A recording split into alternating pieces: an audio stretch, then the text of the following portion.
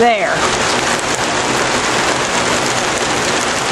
Can you see it? It's right, right but where the two gutters come together, and it's coming out of it right there. Right where the two gutters come together. I guess where you dip the, where you dip the first downspout into the second downspout, and it's coming off there. And then here's the wet. The wetness on the porch is not not nearly as bad as it was. You you you can probably see it. I don't know. It's not nearly as bad as what it was. The railing is still wet because there's an occasional drip off of the gutter right there.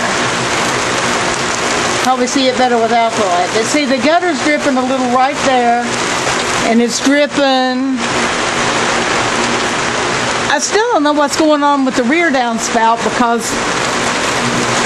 see, you can see that there, see? See it coming off in front of the downspout? But not actually into it, just off the front of it there.